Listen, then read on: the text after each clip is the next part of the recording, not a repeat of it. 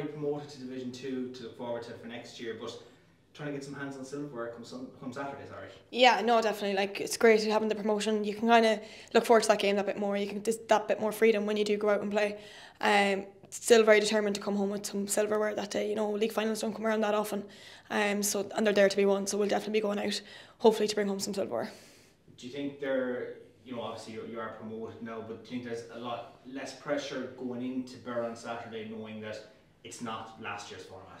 Yeah, no, definitely. It definitely does help. It kind of just creates that bit more relaxation, I suppose. You know, you have you got your promotion. Kind of that's the main goal when you start out the season is to gain promotion. So to kind of have that under the belt already, it kind of does. It lets the whole thing just maybe settle, maybe play even play a bit more better football because there's less pressure on you, and uh, yeah, probably play that bit more freedom. So yeah, looking forward to it. Coming off the back of last season, was it always priority number one to get promotion sorted for the league? Yeah, no, definitely. Like was to be relegated last year to go up the year before and to be relegated again was something we were really disappointed with.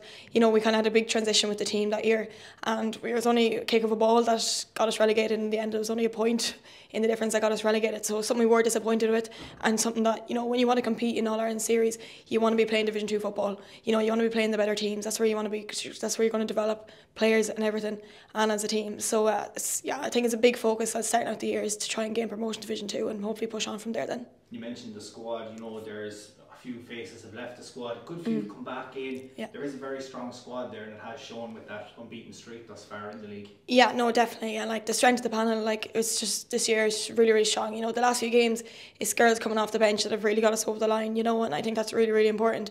And we've struggled a bit this year with injury. Like even losing our, our captain, Lee Feeney, there, she she is out missed majority of the games with true injury, and one of our better forwards too, Ashling Feely. You know, and when you have players like that lost due to injury, you need other girls. So it's great we've had other girls to step up to fill in them gaps, and they're yeah they're doing a really really good job.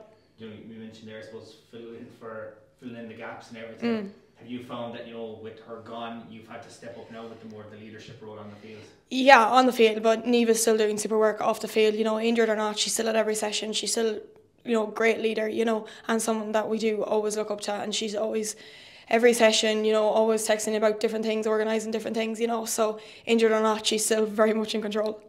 You know, for for Roscommon, I suppose, you as you said, they were coming off the relegation last year.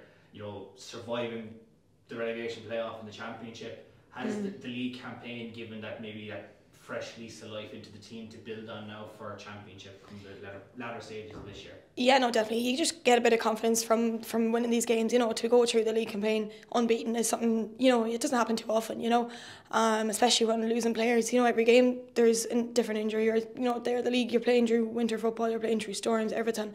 Um, so I think it does stand to you, and to just gain that bit more confidence, get game time into players. You know, even playing our last league game there against Antrim, we had already got promotion, so kind of give that chance to other girls that might not have got much game time. You know, give them that opportunity to, to show what they can do. You know, so I think that's really really important, and just to get that bit of experience and give um, that bit more confidence as well going into the league. Going, in, going into Saturday, it's obviously clear. You've mm. met them in the group stage. You know how tough they can be. Yeah. It is going to be a tough game. Obviously, you said that it was probably a little bit of pressure lifted with mm-hmm. promotion already secured. You do want the silverware. They want the silverware. So it's going to be a tough battle. Yeah, no, definitely. We know Clare. We know what kind of football they can play. They've some very, very dangerous players there. Um, but nothing that we won't be prepared for. You know, we've a lot of dangerous players too. But um, yeah, hopefully we can just go out and play, you know, as good as football as we can, and hopefully it'll be a good game. What would it mean to, I suppose, yourselves, the panel, Roscommon, ladies football in general, to get that silverware secured? Something that you can build on to now, looking for the championship. Yeah, no, I think it's it's really really important. You know, finals are there to be won, and like I said, the definitely do not come around that often at all. So I think yeah, that's the mind frame that we'll definitely be going into or going in with. You know, you of nearly have to forget that you have promotion and maybe going with the mind frame that you're fighting for promotion because uh, taking home that silver is, is something really important for us. And I think even going into the All Ireland series, I think to have that under our belt, I think we'd really push on from there.